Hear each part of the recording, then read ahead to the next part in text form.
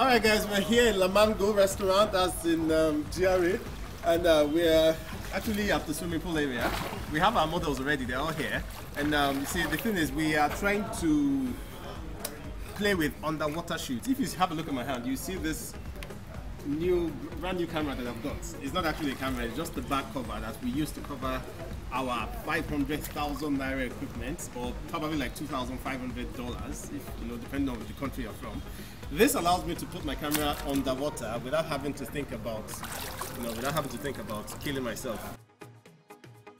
When light travels from air, it is refracted underwater, which means uh, if you have light traveling this direction, once it gets underwater, it's, it tilts a bit.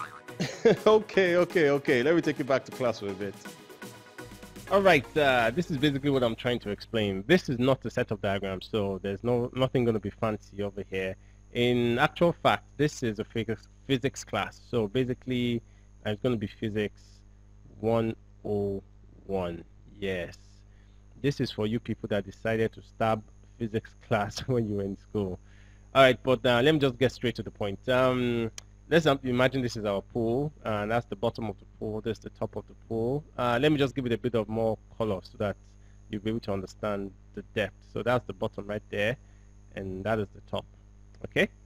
So uh, what generally happens with light is we all know that light travels in a straight line but uh, light can bend. The, or the only time light bends is when it passes from one substance of a different density into a into another substance of a different density basically what that means in English is uh, is if we have light in the air, the, the, speed in which light moves or travels in air is different from the speed in which light moves and travels in water.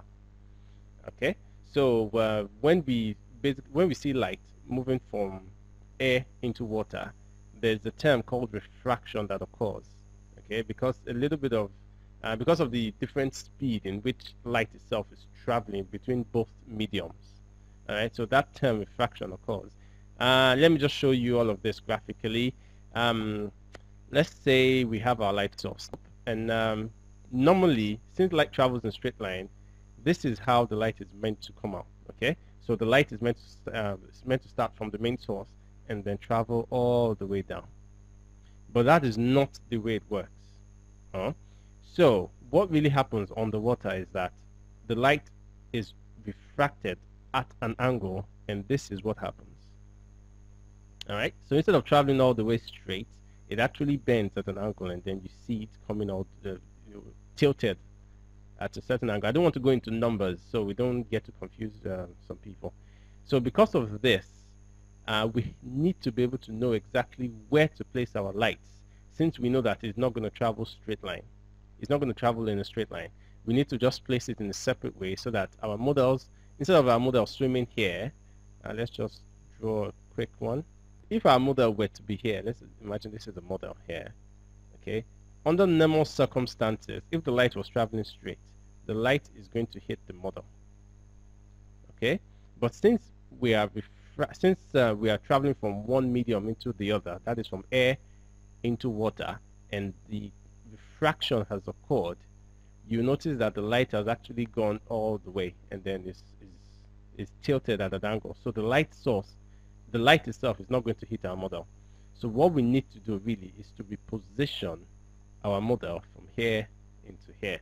This is when the light is going to hit the model. All right, so let's get back to the swimming pool and uh, continue.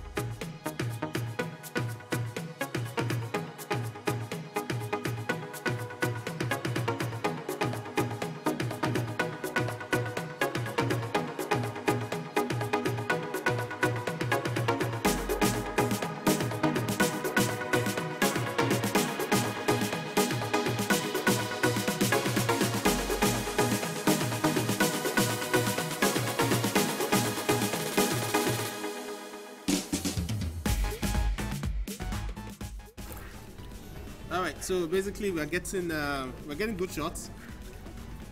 I'm not sure if you can see properly, but you'll definitely get to see that at the back of the screen. That is a fantastic shot of him directly on the water. All right, with um, with proper spotlighting. And then you need to open your eyes. Open the eyes. She has raised her head up. so, You know, no, she, she's overdoing it. Alright, let's do one more time. Just mind our flag. Where's my love? Your love is behind you. Alright, let's do Alright, let's go, go, go. As you are swimming, No, no. if possible, try opening your eyes. No, you can put them, just, just put your head, just put it down. Okay, raise your head up. I can't, I can't hear you. Alright, stand up. That is good.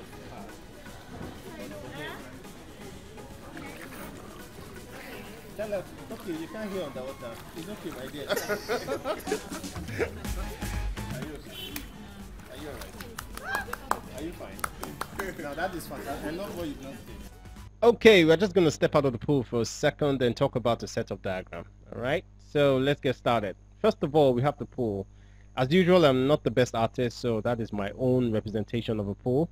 And um, we have our camera placed just by here.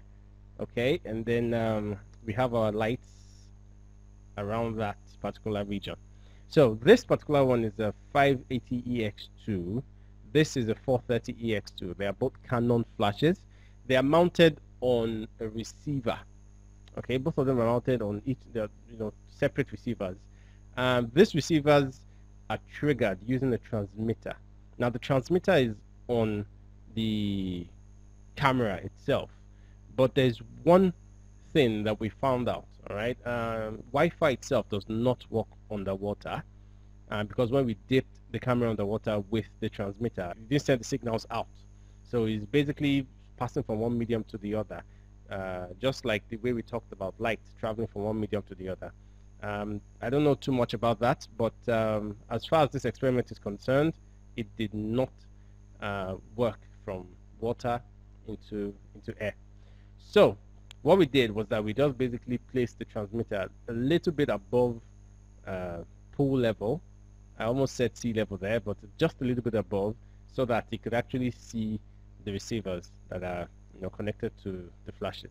Okay, so we have all of that connected. We have this connected. We have that connected, and um, the flashes themselves they are wrapped around with um, some sort of transparent material uh, to prevent water from you know splashing on them because there's going to be a lot of splashes uh, from models and and uh, swimming itself. You could basically just use anything. You could use cling film, uh, anything basically that is see-through to protect your equipment. All right. And the last thing from here is the models. All right. So basically, we have our models. Our models are going to they're going to swim. Uh, so let's say they start swimming from here. Uh, this is the region where it's going to be well lit since the light is hitting here also the light is hitting here uh, one more thing before I even jump into the models the flashes themselves they are connected to or they are tilted at a 45 degree angle. So once it enters the water at 45 degrees it is also tilted again. Since the light is traveling from light from air into water so it is tilted again. So instead of having our light hit around here it is actually going to hit around here okay? Even tilted at 45 degrees. All right? So because of that tiny tilt we need to know exactly where the hot spot will be. That's we need to know exactly where the light is going to be focused. So uh, we're just going to let our model swim from here all the way here and then we're going to take their pictures. And that's about it. Let's see how it goes. Hopefully we get to have fantastic shots and um, let's get back to the pool. All right, so thank you very much. Um, please make sure that you. That is AY once again. AY say hi. And that is Catherine. She's a beautiful swimmer. She's swam all the way to 12 feet. all right, so, so the next video, I'll see you guys. Bye.